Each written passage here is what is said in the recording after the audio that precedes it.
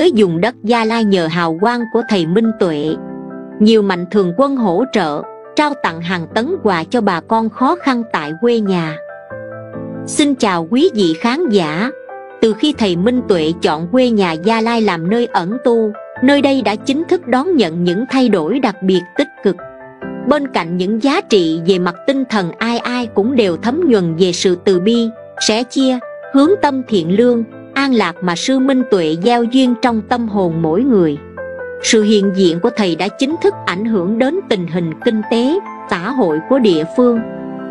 Những ngày gần đây, mọi người đều hướng về Gia Lai, nơi đây thu hút đông đảo cộng đồng Phật tử đến đảnh lễ và người dân từ khắp mọi miền tổ quốc, những người chỉ mong muốn được gặp thầy dù chỉ một lần.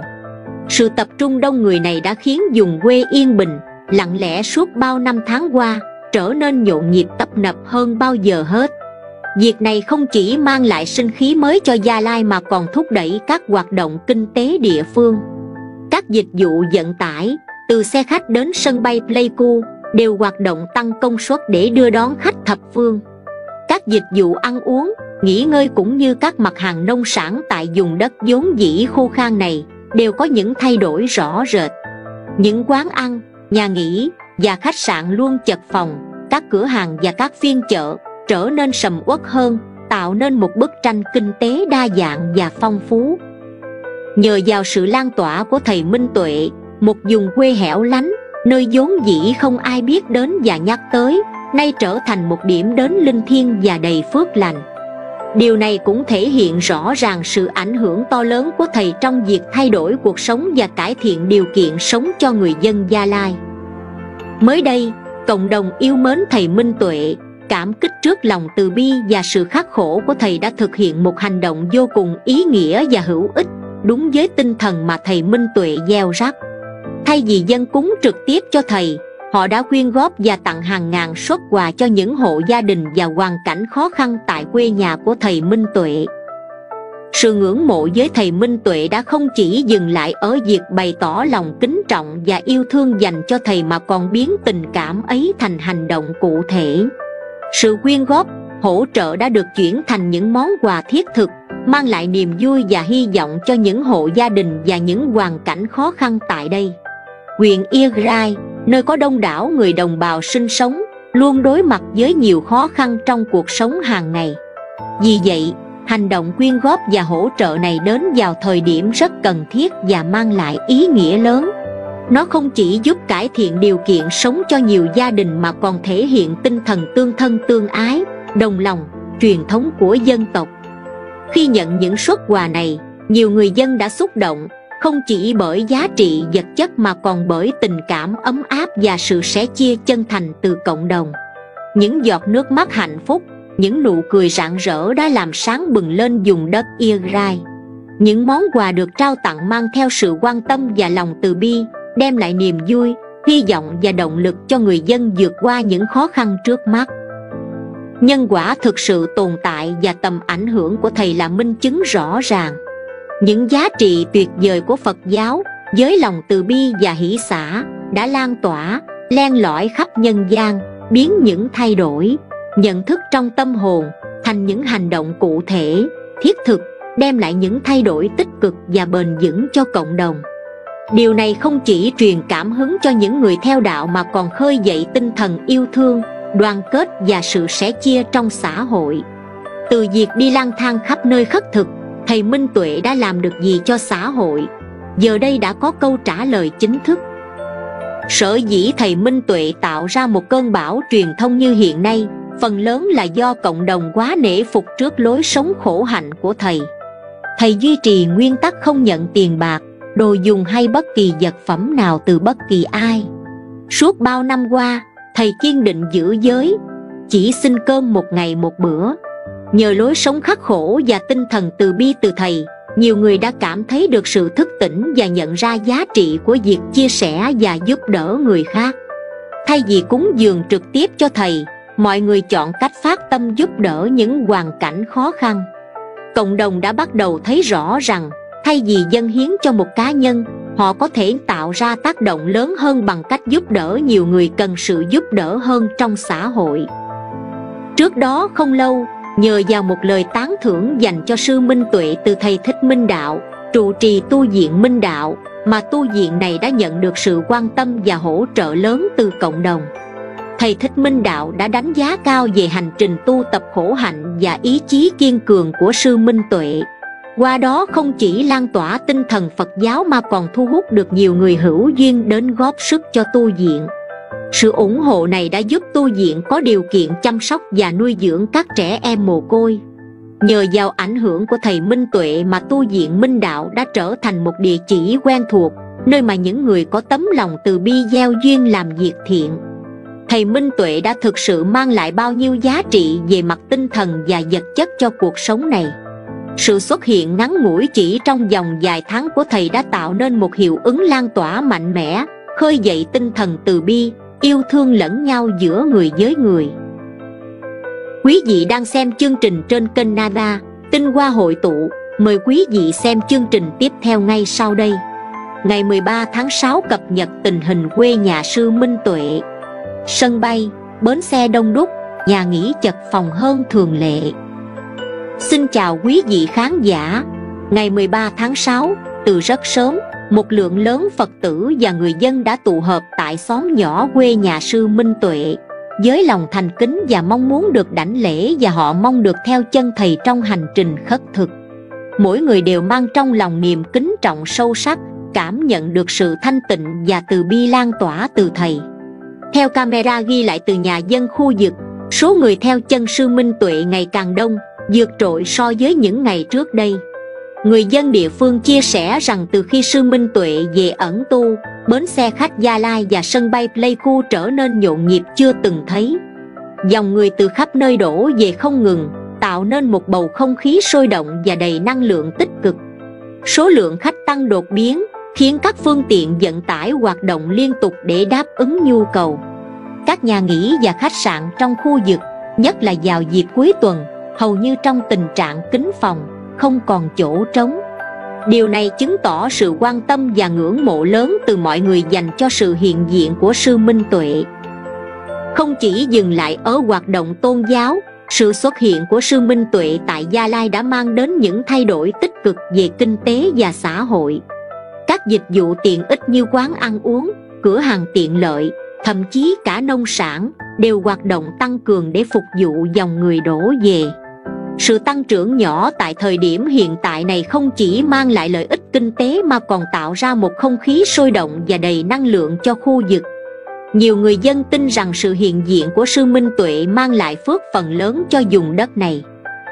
Hôm nay, lực lượng chức năng vẫn bảo vệ sư minh tuệ rất nghiêm ngặt đảm bảo an toàn tuyệt đối cho thầy trong suốt hành trình khất thực. Một chi tiết thú vị và đầy cảm động là anh công an từng làm căn cước cho thầy hôm nay cũng có mặt tại rẫy, tiếp tục nhiệm vụ bảo vệ thầy. Điều này tạo ra sự chú ý và thu hút nhiều bình luận tích cực trên cộng đồng mạng. Đáng chú ý, sự bảo vệ nghiêm ngặt từ lực lượng chức năng đã dẫn đến việc hạn chế sự xuất hiện của các youtuber tại khu vực này hầu hết các video quay lại cảnh thầy đều do người dân cung cấp. Các anh công an đã chủ động ngăn chặn việc quay phim và ghi hình không được phép, nhằm giữ cho không gian tu tập của sư minh tuệ được yên tĩnh và trang nghiêm. Đây cũng là mong muốn của gia đình sư minh tuệ. Chính sự can thiệp kịp thời và hiệu quả này đã giúp duy trì sự tôn nghiêm và an toàn cho thầy, tránh khỏi những phiền toái và sự chú ý không mong muốn từ truyền thông mạng xã hội thưa quý vị Mới đây vào ngày 12 tháng 6 báo Công an Nhân dân đưa tin với tiêu đề Người nhà ông Thích Minh Tuệ gửi đơn đề nghị xử lý các trường hợp lợi dụng hình ảnh, livestream. Nội dung bài báo như sau Trước việc một số cá nhân liên tục lợi dụng hình ảnh của ông Lê Anh Tú, Thích Minh Tuệ để livestream trên nền tảng xã hội làm ảnh hưởng đến ông Tú cũng như người thân trong gia đình người nhà đã phải gửi đơn đến cơ quan công an đề nghị xử lý Ngày 12 tháng 6, ông Lê Anh Tuấn, sinh năm 1978, trú tại thôn 6, xã Y Tô, huyện Y Rai, tỉnh Gia Lai, là anh trai của ông Lê Anh Tú, xác nhận gia đình ông đã có đơn đề nghị gửi công an huyện Ia Rai để nhờ giúp đỡ và đề nghị xử lý việc một số cá nhân lợi dụng hình ảnh của ông Lê Anh Tú đăng tải trên các nền tảng xã hội gây ảnh hưởng nghiêm trọng đến bản thân ông Tú cũng như người thân trong gia đình. Theo đơn, ông Lê Anh Tuấn cho biết, em trai ông là Lê Anh Tú, Thích Minh Tuệ, sinh năm 1981, trú tại thôn 6, xã Y Tô, huyện Iagrai, tỉnh Gia Lai. Vào năm 2017, em trai ông đã đi bộ khất thực, tu tập theo lời Phật dạy. Trong quá trình đi chưa có vấn đề gì xảy ra. Tuy nhiên, từ đầu năm 2024 đến nay, trong quá trình em trai ông đi bộ từ tỉnh Cao Bằng về lại tỉnh Khánh Hòa, khi đi đến địa bàn các tỉnh Hà Tĩnh, Quảng Trị và Thừa Thiên Huế, một số đối tượng đã lợi dụng hình ảnh của em trai ông để livestream trên các nền tảng xã hội, gây ảnh hưởng đến bản thân em trai ông cũng như tình hình an ninh trật tự, an toàn giao thông.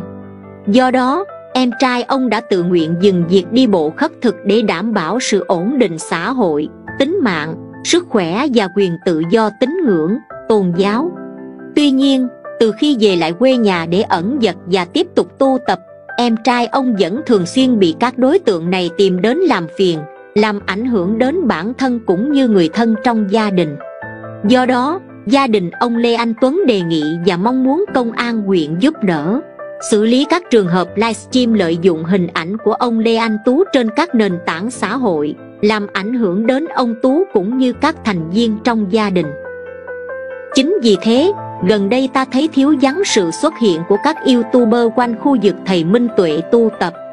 Các cơ quan chức năng đã nghiêm ngặt ngăn chặn hành vi quay phim và livestream trái phép, tạo nên một không gian yên tĩnh và tôn nghiêm cho thầy Minh Tuệ tiếp tục con đường tu tập.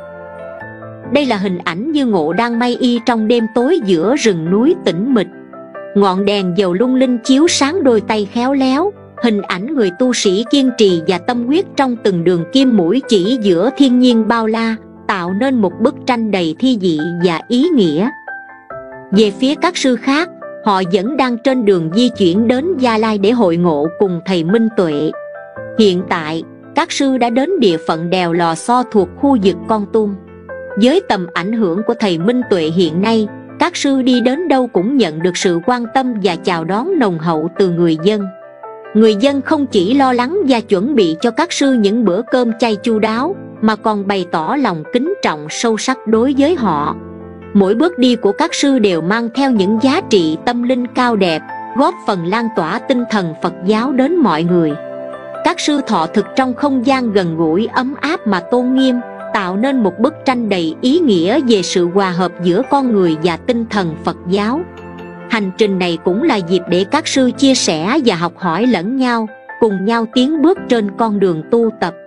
Mỗi địa điểm các sư đi qua đều để lại dấu ấn sâu sắc, không chỉ trong lòng người dân mà còn trong chính hành trình tâm linh của họ. Sự đón tiếp chu đáo và tận tình từ người dân là nguồn động viên lớn lao, giúp các sư vượt qua mọi khó khăn và thử thách tiếp tục kiên định trên con đường tìm kiếm sự giác ngộ và bình an nội tại. Tuy nhiên nhóm của thầy minh trí và nhóm của như ngộ, vì đi khất thực vào nhà người đồng bào, nên thức ăn không được phong phú như các sư khác. Hy vọng các sư sẽ có đủ sức khỏe, tiếp tục dược đèo. Hiện tại các sư không còn đi chung đoàn mà tách nhau ra, người đi trước, người đi sau, nhưng vẫn cùng một cung đường, nên chắc các sư sẽ sớm gặp lại nhau. Chiều ngày 12 tháng 6, một sự kiện đáng chú ý đã diễn ra khi cha của thầy Minh Tạng cùng người thân đến thăm gia đình thầy Minh Tuệ. Cuộc gặp gỡ này không chỉ là sự thăm hỏi thông thường mà còn là sự đồng cảm và chia sẻ giữa những bậc sinh thành. Cả hai đều hiểu rõ những khó khăn và thử thách mà con mình phải đối mặt trên con đường tu hành. Chính vì vậy, họ dễ dàng tìm thấy sự đồng điệu trong tâm hồn điểm chung giữa họ là tình yêu thương vô điều kiện và sự ủng hộ mạnh mẽ cho con cái trên con đường tu tập. Dù biết rằng con mình sẽ phải đối mặt với nhiều thử thách, hai người cha vẫn luôn đứng sau, là nguồn động viên lớn lao, khuyến khích và tôn trọng quyết định tu hành của con. Sự ủng hộ này không chỉ giúp các thầy có thêm sức mạnh để tiếp tục hành trình tu tập mà còn là biểu hiện của lòng từ bi và trí tuệ mà họ đã truyền dạy cho con mình đây thật sự là hình ảnh đẹp về tình phụ tử và sự hy sinh cao cả nhắc nhở chúng ta về tầm quan trọng của sự ủng hộ và tình yêu thương gia đình trong mọi hoàn cảnh Quý vị đang xem chương trình trên kênh Nada, tinh hoa hội tụ, mời quý vị xem chương trình tiếp theo ngay sau đây. Quý vị thân mến, thế kỷ 6 trước công nguyên, tại vùng đất dưới dãy núi Himalaya hùng vĩ, một chàng trai hoàng tử trẻ xuống tóc đi tu hành. Chàng quyết định từ bỏ mọi vinh hoa phú quý, vợ đẹp con khôn để dấn thân vào tìm cho được đạo. Trải qua đau đớn khổ hạnh, có những lúc bị quấy nhiễu xua đuổi, chàng trai ấy cuối cùng đã giác ngộ. Rồi đem phổ biến những tư tưởng của mình khắp chúng sinh tạo ra một tôn giáo tồn tại bền vững hàng nghìn năm cho đến ngày nay. Đó chính là câu chuyện của đức phật thích ca người sáng lập ra một trong những tôn giáo lớn nhất và lâu đời nhất thế giới phật giáo suốt bề dày lịch sử tồn tại với hàng nghìn thế hệ sùng kính trên khắp địa cầu, nhưng phật giáo vẫn bị một bộ phận coi là một tôn giáo đầy sự mê tín. Họ thấy những pho tượng phật sơn son thép vàng và nghe tiếng chuông mỏ trống phách thì cho đó là sự sùng bái ngẫu tượng không có thật. Lại thấy cách sinh hoạt của tăng ni trong các tu viện thì họ cho là những ký sinh trùng của xã hội, chỉ lo nhận các bố thí chứ không chịu lao động để kiếm cái ăn rồi có không ít kẻ qua thời đại, lợi dụng sự sùng kính của các phật tử mà vẽ dời thêm những thứ thần thánh màu nhiệm. Chẳng hạn như cúng dông, khiến cho nhiều người có tư tưởng hiện đại đặt câu hỏi liệu phật giáo có phải khoa học hay không. Hôm nay chúng ta hãy cùng giải đáp thắc mắc ấy. Con người ngày nay đã đạt được nhiều thành tựu khoa học vĩ đại, làm thay đổi thế giới một cách đáng kể. Đỉnh cao nhất đó là sự phát triển của các công nghệ tự động trí tuệ nhân tạo có thể giúp chúng ta làm việc, thậm chí là suy nghĩ. Điều ấy sở dĩ đạt được là dựa trên nền tảng của khoa học. Con người đã đạt được những khám phá mới trong sự thực hành khoa học. Khi những khám phá mới này không thể được giải thích bởi các lý thuyết khoa học ban đầu, người ta lại tiếp tục đưa ra những giả thuyết khác nhằm thỏa mãn những vấn đề đã được khám phá đó. Một giả thuyết được chấp nhận rộng rãi thường phải hội tụ ba điều kiện thứ nhất, hệ thống lý thuyết của nó phải nhất quán, nghĩa là nó phải tự giải thích và không tự mâu thuẫn.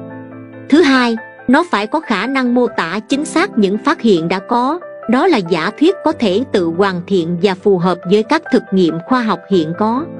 Thứ ba, theo giả thuyết này, một số suy luận và dự ngôn có thể được rút ra và những dự đoán này có thể được xác minh bằng các thí nghiệm và quan sát trong tương lai khi ngày càng có nhiều suy luận và dự đoán được đưa ra, giả thuyết khoa học này được các nhà khoa học chấp nhận rộng rãi và giả thuyết khoa học này được gọi là lý thuyết khoa học. Nếu lý thuyết mô tả này giải thích và hướng dẫn đối tượng thuộc diện rộng và quan trọng, thì lý thuyết này được gọi là lý thuyết khoa học vĩ đại. Như cơ học newton, thuyết tương đối của einstein cơ học newton áp dụng cho tất cả các vật thể dĩ mô quy luật tuân thủ khi không tiếp cận với sự vận động của tốc độ ánh sáng. Thuyết tương đối có thể mô tả vận tốc thấp của tất cả các vật thể dĩ mô ở tốc độ ánh sáng tương đối và quy luật tiếp cận khi chuyển động tốc độ cao của ánh sáng. Khi hai lý thuyết này được đề xuất, người ta có thể giải thích những vấn đề mà trước đây mọi người không thể giải quyết với các lý thuyết khoa học đã cũ và những suy luận cùng tiên đoán dựa trên chúng về sau được chứng thực bởi nhiều sự quan sát của các nhà khoa học Thuyết tương đối là một khái quát về cơ học Newton và cơ học Newton là một trường hợp đặc biệt ở tốc độ thấp của thuyết tương đối.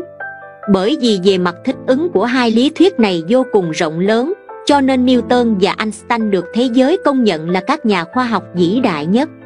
Lý thuyết của họ là lý thuyết khoa học vĩ đại nhất. Phóng vệ tinh lên trời, chạy tàu ngầm dưới biển, thi đấu thể thao, quan sát thiên văn đều phải tuân thủ theo chế ước của quy luật mà lý thuyết đã mô tả. Tương tự như vậy phật giáo cũng có đầy đủ ba đặc điểm của lý thuyết khoa học. Trước hết lý thuyết phật giáo là tự nhất quán và hài hòa. Tứ thánh để tóm tắt hiện tượng nhiều đau khổ trong cuộc sống nhân sinh chỉ ra nguyên nhân gây đau khổ và đưa ra cơ sở lý thuyết cùng với phương pháp tu tập để điều phục thân tâm. Thứ hai, sau khi đức phật thành đạo, ngài đã đề xướng những đạo lý cơ bản của vũ trụ và nhân sinh, giải thích nhiều hiện tượng xã hội và nhân sinh. Quan trọng hơn là nhiều người lắng nghe lời dạy của đức phật để tu tập, và có rất nhiều người đã trải nghiệm nhiều cảnh giới khác nhau như phật học đã chỉ ra cho nên phật giáo đã giành được sự ủng hộ của nhiều người và đã có sự ảnh hưởng rất rộng lớn. Phật giáo có tính thực nghiệm rất cao. Tuân theo sự hướng dẫn của đức phật, những người tu tập thực hành theo giới luật có thể ít hay nhiều chứng thực và khẳng định lời của đức phật đều là chân thật. Phật học không phải là triết học thuần túy về lý thuyết mà là một môn khoa học thực nghiệm có tính thực tiễn rất mạnh, mặc dù nó còn bao hàm những triết lý vĩ đại dựa theo phật học để thực hiện việc tu hành tức là học phật. Thứ ba, một số hiện tượng tự nhiên được mô tả bởi phật giáo là quan sát thực tế cho những người đã đạt được các kỹ năng tâm linh tương ứng. Nhưng đối với những người bình thường, họ chỉ có thể tin điều đó, nhưng quan sát dưới góc độ khoa học tự nhiên ngày nay, đó chính là lời dự đoán khoa học của những người vĩ đại. Đức Phật đã nói hơn 2.500 năm về trước rằng có 84.000 con vi trùng trong một giọt nước và có 3.000 đại thiên thế giới trong cấu trúc của vũ trụ. Được các nhà di sinh học và thiên văn học của khoa học hiện đại ngày nay xác nhận là hoàn toàn có cơ sở khoa học. Một số người bây giờ do không hiểu biết một cách đầy đủ về phật giáo nên cáo buộc phật giáo là mê tín dị đoan và không khoa học. Trên thực tế, một số ít những người này lại không hiểu biết đủ về khoa học họ có thái độ mê tín khoa học và thiếu tinh thần khoa học chân chính. Sáu đạo luân hồi và nhân quả báo ứng của phật giáo thường bị người ta công kích cho rằng đó là những điều mê tín. Một trong những lý lẽ của những người này là khi ai đó đã làm điều ác mà không có quả báo xấu xuất hiện. Có người đã từng làm việc tốt nhưng không thấy nhận được quả báo lành. Thực ra, những người này không hiểu được rằng khi nghiệp lực trong sáu nẻo luân hồi chín mùi thì mới nhận được quả báo lập luận thứ hai là tại sao không ai có thể nhìn thấy quả báo luân hồi. Sự thật là từ khi phật giáo ra đời đến nay đã hơn 2.500 năm, nơi lịch sử và kinh điển phật giáo đã ghi chép lại nhiều người tu đạo đã chứng minh được thần thông và có thể thấy được sự vận hành của nhân quả luân hồi. Trong cuộc sống, chúng ta có rất nhiều những thứ vô hình mắt thường không thể thấy được, nhưng chúng ta lại thấy không có nghĩa là nó không tồn tại đôi mắt của chúng ta không thể cảm nhận được tia hồng ngoại hoặc tia tử ngoại, tai chúng ta không thể nghe được sóng siêu âm và sóng siêu thanh. Mắt chúng ta không thể nhìn thấy vi khuẩn, không thể thấy các hạt di-mô như nguyên tử. Chúng ta không thể nhìn thấy và nghe thấy rất nhiều tín hiệu đến từ khắp nơi xung quanh mình, chẳng hạn như sóng radio, sóng truyền hình, tín hiệu điện thoại di động, và có rất nhiều thứ khác mà khoa học vẫn chưa thể khám phá ra nhưng nó vẫn tồn tại trong vũ trụ bao la. Đức phật đã mô tả chính xác về trạng thái vũ trụ của chúng ta trong thời khởi thế. Nguyên bản gốc là văn bản cổ xưa, nếu mọi người có hứng thú thì nên tìm đọc. Ví dụ, nói đến tiểu thiên thế giới thì giống như một tấm lưới văng ra theo hình cái mâm để ngửa lên vậy tức là nó không chỉ hình tròn mà còn có hình xoắn ốc bên trong. Đó chính là hình dạng của giải ngân hà ngoài ra còn chỉ ra rằng trong giải ngân hà có rất nhiều tinh cầu có người đang sống. Không gian ba chiều đối ứng với ba ngàn đại thiên thể chính là toàn bộ bầu trời vũ trụ đầy sao mà chúng ta hiện đang quan sát. Theo kinh lăng nghiêm, đệ tử của đức phật tên là an na luật đà bị mù mắt nhưng lại tu chứng được quả a la hán sau khi mở được thiên nhãn, thì ngài nhìn thấy cõi diêm phù đề, tức trái đất giống như trái amala trong lòng bàn tay một loại trái cây hình bầu dục tại Ấn Độ. Nếu không thật sự tu hành chứng quả, thì cách nay hơn 2.500 năm, làm sao chúng ta biết rằng trái đất có hình tròn? Câu xá luận mô tả dòng đất dựa theo dòng nước, dòng nước lại dựa theo dòng gió, dòng gió lại theo dòng không gian.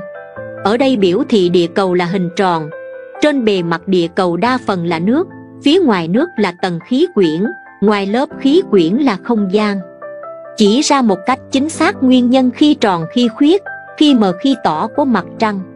Trong kinh khởi thế, đức phật đã chỉ ra chính xác nguyên nhân lý do mặt trăng khi mờ khi tỏ, khi tròn khi khuyết. Những người cho phật giáo là mê tín thì chính họ đã phạm lỗi mê tín rồi, vì họ chưa từng tìm hiểu giáo lý của đạo phật một cách triệt để. Ngay đến những điều phổ thông thường thức trong phật giáo họ cũng không biết, chỉ thấy người ta nói cũng nói theo đó mới thật là kẻ mê tín, tin theo lời nói hồ đồ của người khác. Ta có thể nói phật giáo là một tôn giáo, nhưng cũng có thể nói phật giáo không phải tôn giáo. Điều đó cần nên định nghĩa hai chữ tôn giáo như thế nào đã. Nếu theo nghĩa căn bản của từ religion, tức tôn giáo là sùng bái nhất thần hoặc đa thần, thì phật giáo hoàn toàn không phải là một tôn giáo vì phật giáo không chủ trương thần quyền. Còn nếu theo nghĩa rộng của hai chữ đó phàm cái gì có tôn chỉ, có giáo lý như khổng giáo, lão giáo chẳng hạn đều có thể gọi là tôn giáo, thì ta cũng có thể nói phật giáo là một tôn giáo. Từ sau khi khoa học tiến bộ, những tôn giáo sùng bái nhất thần hoặc đa thần đều bị khoa học công kích. Duy có phật giáo thì khác hẳn. Khoa học càng phát triển, thì giáo lý phật giáo càng rực rỡ sáng tỏ. Mấy năm gần đây, phật giáo tại các nước trên thế giới ngày càng hưng thịnh có thể so sánh với sự tiến triển của khoa học. Phật giáo về bản chất là vô thần. Đức phật chưa bao giờ tự nhận mình là thần thánh, có phép thần thông quảng đại gì cả. Ngài đề cao luật nhân quả, tức ta sống và hành động như thế nào thì sẽ nhận được hậu quả như thế ấy, rất thực tế và sâu sắc. Chẳng thần tiên nào tác động nên số phận chúng ta. Dòng luân hồi chuyển kiếp chính là quy luật sinh diệt của dạng vật đã từng có những trường hợp ở cả phương đông lẫn phương tây cho thấy các đứa trẻ mới nhỏ tuổi đã biết tường tận những việc mà ngay cả bản thân chúng chưa thể trải nghiệm được. Điều đó chứng minh hùng hồn cho sự tồn tại của tiền kiếp. Khoa học thực nghiệm là phải có kết quả rõ ràng, vì thế phật giáo chính là khoa học. Mấy năm gần đây, trong số tín đồ phật giáo ta thấy có rất nhiều các nhà bác học, khoa học và kỹ sư. Điều đó không có gì là lạ cả vì lý luận của phật giáo rất phù hợp với các khoa học thực nghiệm. Cho nên, những khám phá của khoa học càng tiến sâu bao nhiêu thì càng dễ thuyết minh những chân lý trong các kinh điển của phật mà từ trước chưa ai giải thích được. Tất cả những cái mà người tầm thường cho phật giáo là mê tín, thì ngày nay khoa học đã chứng minh cho lời dạy của đức phật đều y cứ trên những lý luật rất vững vàng, không thể phủ nhận. Ngày nay nhiều kẻ lợi dụng phật giáo để truyền bá tư tưởng mê tín nhằm trục lợi. Chính những điều đó đã làm cho nhiều người chưa hiểu biết sâu sắc nghĩ sai về phật giáo. Có thể gọi đây là thời kỳ mạt pháp như chính đức phật thích ca dự đoán từ hàng nghìn năm trước. Vì thế, các tăng ni phật tử cần phải giữ nghiêm giới luật, đừng để cho những tham sân si ảnh hưởng, làm giấy bẩn bản chất khoa học của phật giáo nguyên thủy. Cảm ơn đã theo dõi video quý vị đang xem chương trình trên kênh nada, tinh hoa hội tụ. Mời quý vị xem chương trình tiếp theo ngay sau đây. Quý vị thân mến, theo thế giới quan phật giáo, trước nay và sau này có vô số vị phật xuất thế. Đức phật mà chúng ta quen thuộc nhất, vị phật lịch sử thích ca mâu ni, chỉ là một trong số các vị phật đó mà thôi. Hãy cùng tìm hiểu tên gọi và hình tượng của một số vị phật và bồ tát thường gặp danh từ phật xuất phát từ chữ phạn, đọc là bút a, dịch nghĩa là giác ngộ. Đó là trạng thái giải thoát nằm trong tâm mỗi người, không liên quan đến tướng mạo, nghề nghiệp, địa vị hèn sang. Kinh phật dạy rằng nếu thấy rõ pháp ấy thì phàm phu không biết một chữ cũng có thể là phật. Cái tên đầu tiên trong danh sách theo các tín đồ phật giáo chính là người đầu tiên hoàn toàn giác ngộ để đạt niết bàn thành phật. Tiểu quốc thích ca ấn độ ngày nay, vào rằm tháng 4 năm 624 trước công nguyên, hoàng hậu sau khi được thần báo mộng đã hạ sinh thái tử dưới tán cây sa la trong giường lâm tỳ ni. Vừa sinh ra, ngài đã có đầy đủ 32 tướng tốt, được đặt tên là tất đạt đa, nghĩa là người thành đạt mọi nguyện vọng. Từ nhỏ, ngài đã biểu hiện trí tuệ phi thường và lòng từ bi bao la. Thấy con trai luôn trăn trở đi tìm sự giác ngộ giải thoát tuyệt đối cho chúng sinh, vua cha bèn cưới vợ cho thái tử. Năm 29 tuổi, vừa có con đầu lòng, ngài đã bỏ đi xuất gia trong đêm ngày 8 tháng 2 sau 49 ngày đêm thiền định dưới cội cây bồ đề ở Gaia ngài chứng thành Phật quả, biết tất cả mọi điều trong vũ trụ và có lòng từ bi vô biên. Năm đó, ngài 35 tuổi, từ đó ngài đã đi nhiều nơi giảng dạy giáo lý giác ngộ giải thoát cao siêu này cho nhân loại. Ngày rằm tháng 2 năm 544 trước công nguyên, Đức Phật 80 tuổi, nhập Niết Bàn. Rất nhiều xá lợi của Ngài còn để lại, Có xá lợi còn tồn tại cho đến ngày hôm nay. Đức phật thích ca mâu ni, mà dân gian thường gọi là phật tổ như lai, là người khai sáng ra đạo phật. Do đó, tôn tượng của ngài thường được thờ ngay giữa chính điện ngự trên đài sen với tư thế ngồi kiết già hoặc ngồi kiết già với tay phải cầm hoa sen đưa lên. Có nhiều chùa thờ tượng ngài ở giữa tượng của hai vị tôn giả là a nan và ca diếp hoặc ở giữa hai vị đại bồ tát là ngài văn thù và phổ hiền, gọi là hoa nghiêm tam thánh. Cũng có chùa thờ ngài ngồi giữa hai vị phật là phật a di đà và phật dược sư, gọi là tượng tam thế phật. Ngoài ra có chùa thờ ngài ở giữa tượng của bồ tát quan thế âm và bồ tát địa tạng, gọi là ta bà tam thánh, nghĩa là ba vị thánh của cõi ta bà. Nam mô a di đà phật, câu nói này ai cũng từng nghe, nhưng phật a di đà là ai? A di đà phật được phiên âm từ tiếng phạn, có nghĩa là ánh sáng vô lượng. Do đó, phật a di đà còn gọi là vô lượng thọ, vô lượng quang và vô lượng công đức, nghĩa là tuổi thọ hào quang và công đức của ngài không thể lường được. Đây là vị phật được tôn thờ nhiều nhất trong phật giáo đại thừa. Ngài đã xuất hiện trước đức thích ca rất lâu, từ thời rất xa xưa. Quốc dương kiều thi ca, sau khi nghe một vị phật thuyết pháp, liền bỏ ngôi xuất gia tu hành, lấy hiệu pháp tạng.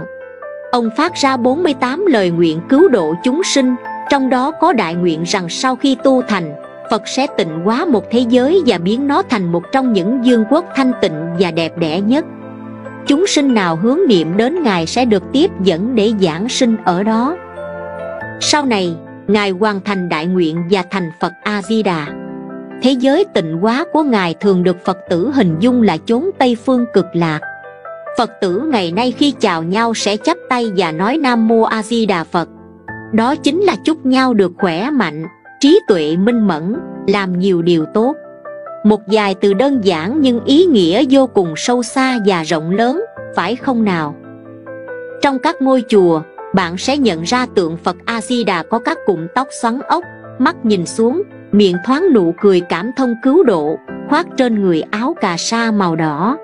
Phật a di đà có thể ở tư thế đứng, tay phải đưa ngang vai chỉ lên, tay trái đưa ngang bụng chỉ xuống hai lòng bàn tay hướng về phía trước. Trong mỗi tay, ngón trỏ và ngón cái chạm nhau làm thành vòng tròn. Trước ngực ngài có chữ dạng. Các chùa hay thờ tượng ngài đứng giữa, bên tay trái của phật a di đà là bồ tát quán thế âm, bên tay phải của ngài là bồ tát đại thế chí. Ba vị này được gọi là tây phương tam thánh. Đây là vị phật dễ thương nhất trong mắt chúng ta, nhưng hình ảnh này không phải phật di lặc trong kinh điển phật giáo, chúng ta biết đức phật hiện tại là thích ca mâu ni, là vì phật đã truyền lại giáo pháp cho các tín đồ. Ngày nay, những giáo pháp của các đức phật đều chỉ tồn tại khoảng vài nghìn tới vài dạng năm rồi sẽ dần bị hậu thế hiểu sai và cuối cùng bị lãng quên. Phật thích ca dự đoán giáo pháp do ngài truyền dạy sẽ bị lãng quên sau năm ngàn năm. Rất lâu sau đó, vì phật kế tiếp mới xuất hiện, đó là phật di lặc ngài sẽ là bậc giác ngộ, pháp và thuyết lại cho chúng sinh, tương tự như những vị phật khác đã làm trong quá khứ. Ban đầu, di lặc được mô tả như một vị hoàng tử thanh mảnh, tuấn tú, thường mặc trang phục hoàng gia ấn độ. Trong phật giáo tây tạng, di lặc được thờ cúng rất rộng rãi. Vậy ông mập khoe bụng này là ai? Tương truyền, ở trung quốc thế kỷ thứ 10 có vị bố đại hòa thượng, nghĩa là hòa thượng túi giải được cho là quá thân của phật di lặc. Ngài nói năng vô định ngủ nghỉ tùy chỗ, thường dùng cây gậy quẩy một túi vải để đựng những vật người cúng dường. Ngài thường giảng kinh cho người nghèo, làm nhiều điều màu nhiệm lạ. Tương truyền trước khi viên tịch, ngài đã đọc bài kệ di lặc.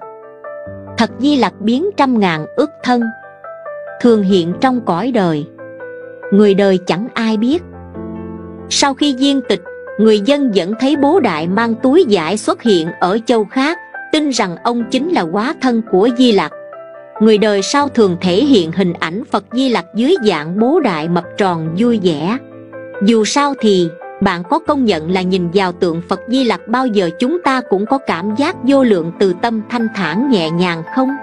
Nếu như nụ cười của đức thích ca được gọi là nụ cười an lạc, thì nụ cười của đức phật di lặc là nụ cười quan hỷ là tấm lòng bao dung độ lượng vô bờ bến.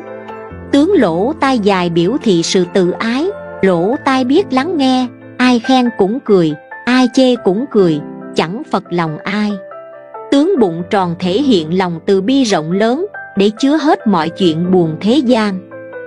Ngày nay, tượng của ngài thường đặt ở ngay giữa cửa ra vào chánh điện của chùa hoặc trong sân chùa, trên lối đi vào chánh điện có nơi thờ tượng phật di lặc lại thêm sáu chú tiểu bám ở quanh mình, biểu trưng cho sáu căn của một con người gồm mắt, tai, mũi, lưỡi, thân, ý. Đại ý là phàm phu chúng ta không thể tự điều khiển sáu căn nên mới đau khổ.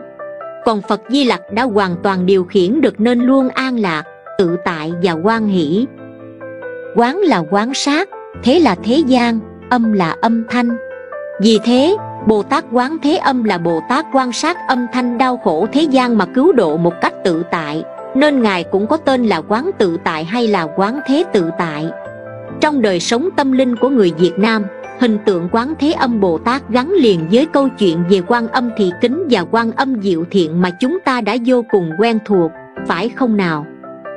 Còn theo lời dạy của đức phật thích ca, quán thế âm bồ tát vốn là một vị cổ phật trong quá khứ hiệu là chánh pháp minh như lai. Nhưng vì cảm thông sâu sắc với nỗi buồn của chúng sinh, nên ngài quay trở lại làm bồ tát, lấy hiệu là quán thế âm để cùng với đức phật a di đà dẫn dắt chúng sinh đến cõi cực lạc. Đến đây, các bạn sẽ thắc mắc, vị bồ tát này là nữ hay nam? Câu trả lời sẽ phá nát tuổi thơ của nhiều người. Mười phương chư phật không hề có nữ thân. Hình tượng của người chỉ là hình ảnh thể hiện chứ không phải là phật thân của người. Do ngài thương chúng sinh như mẹ thương con, nên người ta thường tạc tượng ngài mang hình dáng người nữ. Ngoài ra, ngài có 32 ứng hóa thân, nghĩa là để cứu độ chúng sinh, ngài sẽ chọn bất kỳ thân tướng phù hợp nào để hiện thân. Ngày nay, chúng ta quen thuộc với hình ảnh quán thế âm bồ tát tay phải cầm nhành dương liễu, tay trái cầm bình nước cam lộ để tưới mát chúng sinh trên đỉnh đầu có hình đức phật a di đà trong các ngôi chùa, chúng ta sẽ thấy bồ tát quán thế âm đứng bên tay trái phật a di đà bên phải là bồ tát đại thế chí. Làm thành tây phương tam thánh, tức ba vị thánh cõi tây phương sẽ giáo hóa chúng sinh mười phương cầu về cực lạc. Đây có lẽ là vị bồ tát có hình tượng thú vị nhất, thiên thủ thiên nhãn, nghĩa là ngàn mắt ngàn tay. Nhưng đừng hiểu theo nghĩa đen là đúng một ngàn mà ở đây ám chỉ một số lượng nhiều vô số kể không đếm được. Do đó, hình tượng quan âm thiên thủ thiên nhãn trên thực tế tại các chùa có thể có hơn một ngàn tay, cũng có thể có vài chục tay hay vài trăm tay. Các tài liệu phật giáo đưa ra nhiều quan điểm về nguồn gốc của ngài. Có nơi cho rằng ngài là quá thân của quán thế âm bồ tát ở tây phương cực lạc, có nơi lại nói ngài là quá thân của đức như lai giả thuyết tôi thích hơn cả đó là bồ tát nghìn mắt nghìn tay vốn xuất thân trong nhân gian. Ở khắp mọi đời, có rất nhiều người bình thường trong chúng ta tích cực làm từ thiện từ tâm, giúp đỡ vô điều kiện cho những mảnh đời bất hạnh, nghèo khổ, thiên tai, bệnh tật. Mới bắt đầu họ chứa một tấm lòng với hai tay đơn độc, một đôi mắt cảm thông. Những lòng từ bi của họ lâu dần lan rộng cảm hóa những người xung quanh. Thêm người góp thêm một bàn tay ngàn người tạo thành ngàn cánh tay. Với tinh thần vô ngã dị tha tuyệt đối, không danh không lợi. Bồ tát cũng nghìn mắt để thấy khắp thế gian và nghìn tay để cứu vớt chúng sinh. Bàn tay tượng trưng cho hành động, con mắt tượng trưng cho sự xem xét và thấu suốt. Hình con mắt trong lòng bàn tay tượng trưng cho ý nghĩa thể mắt để đâu thì tay theo đó thể nhìn thấy nơi nào có chúng sinh khổ nạn là ngài ứng hiện và giang bàn tay từ bi ra để cứu giúp tức thì. Chú đại bi của bồ tát thiên thủ thiên nhãn là bài chú quen thuộc, gần gũi, phổ biến nhất với tất cả mọi người. Và còn rất rất nhiều vị phật và bồ tát phổ biến mà trong một video tôi khó lòng kể hết. Bản thân tôi cũng không theo tôn giáo nào nhưng luôn tôn trọng và thích thú tìm hiểu ý nghĩa ẩn dụ đằng sau những biểu tượng và lời giảng tôn giáo. Không cần phải trở thành phật tử để học theo phật thích ca, biết yêu thương và dị tha không phân biệt. Học phật a di đà cách hướng thiện vượt qua phiền muộn, học đức di lặc hỷ xã không cố chấp, và học quán thế âm và phật nghìn mắt nghìn tay lòng từ bi bác ái, thấu hiểu cho nỗi đau của người khác.